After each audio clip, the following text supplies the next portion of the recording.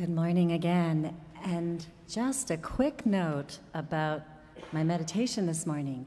In a little while, you'll hear me repeat the phrase, Hosanna, Hosanna in the highest. And when you hear me say those words, I invite you to join in with me as you feel comfortable.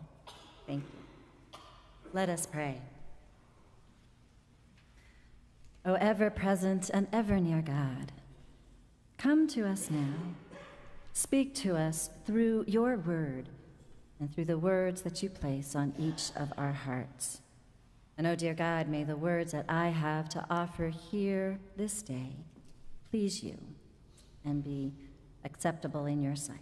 In Jesus' name we pray. Amen. Well, here we are on the sixth Sunday in Lent also known, of course, as Palm Sunday and Passion Sunday. And looking back over these past six weeks, it certainly has been a remarkable journey that we have been on together throughout this Lenten season so far. As a congregation, we have been in a deliberate conversation about the meaning of forgiveness, the need for forgiveness within our own lives, the need for forgiveness within our congregation, and the need for forgiveness in the world around us. And throughout this Lenten season, we have been inspired and challenged by the preaching of several of our first church clergy. During the Ash Wednesday service, you may recall Reverend Tim introduced this Lenten theme of forgiveness in his heartfelt message.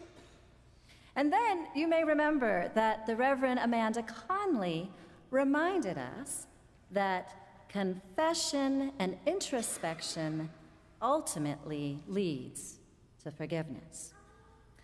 The following week, Reverend Tim stressed that forgiveness necessitates a letting go, a letting go of the grudges and the hurts that we tend to hold on to.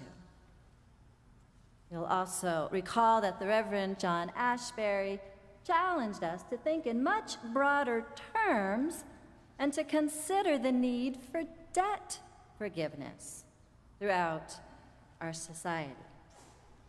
And then, Reverend Sarah Reed inspired us to truly see and accept the woundedness in one another, that we would then be better able to understand and forgive each other.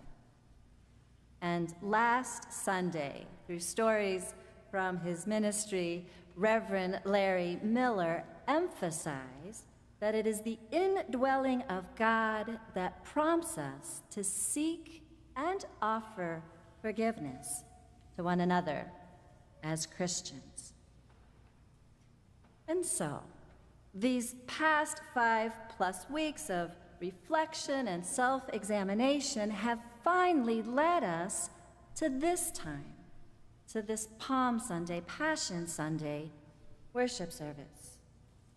And so we give thanks. We give thanks for this intentional journey that we have been on together in order to understand our need for forgiveness within our lives.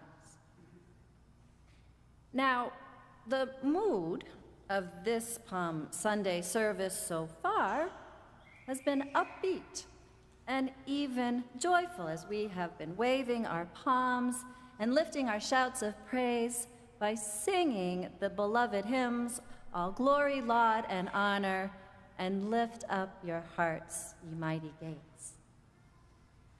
And in our first reading from Matthew, from chapter 21 this morning, we are reminded of Jesus' triumphal entry into Jerusalem while the crowds were shouting, Hosanna, Hosanna, Blessed is the one who comes in the name of the Lord. Hosanna in the highest. Hosanna, they called out. Hosanna. Hosanna? Have you ever wondered what that word Hosanna even means? Was it used only as a joyful expression or as a word of praise? Or was it something else? Biblical scholars today seem to agree that the word Hosanna is derived from the biblical Greek word Hosanna, which many believe is the transliteration of two Hebrew words, Yasha, which means to save or deliver, and Anna, which means please, I beseech. Save and deliver, please, I beseech. So, with that in mind, then, it may be that the largely peasant crowds that lined the road that day in Jerusalem were actually crying out to Jesus, saying, Help us, we beg you. Please deliver us and save us. Help us. Hosanna, Hosanna, Hosanna in the highest. Now, you may remember a groundbreaking book about Holy Week that was published about 15 years ago. It was written by biblical scholars John Dominic Crossan and the late Marcus Borg. It was titled The Last Week What the Gospels Really Teach Us About Jesus' Final Days in Jerusalem. In this book, Crossan and Borg make the case that there was a domination system in place in Jerusalem during Jesus' time, which was characterized by political oppression and economic exploitation of the most vulnerable among them. Borg and Crossan also emphasize in this book that Jesus was indeed sharply critical of the religious leaders of the day, given their close relationships and collaboration with the corrupt rulers in power at that time. And so, keeping all of that in mind, was the response of the people who were being oppressed as Jesus rode the donkey into Jerusalem that day? they cried out, Hosanna, Hosanna, Hosanna in the highest. And what about today? What about today? What is our response to the active and felt presence of Jesus in our lives, even in the midst of so much pain and suffering and injustice in the world? for the senseless loss of life that is caused by gun violence and the all too frequent mass shootings, even as we mourn the recent loss of life of children and adults at the Covenant Christian School in Nashville this past week.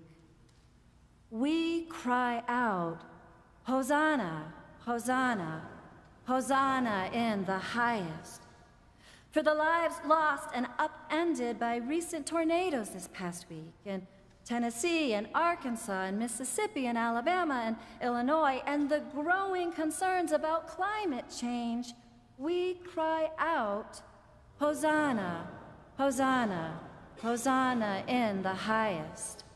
For the transgender children and youth across our nation, who continue to be bullied and targeted by legislators for their own political gain, we cry out, Hosanna, Hosanna, Hosanna in the highest.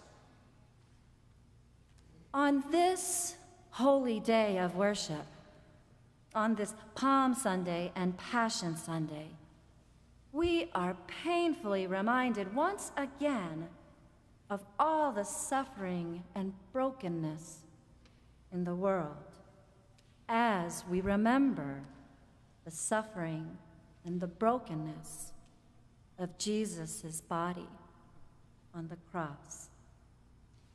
And so, for now, we weep, and we pray. And we wait on God to act through us together as the body of Christ. Amen.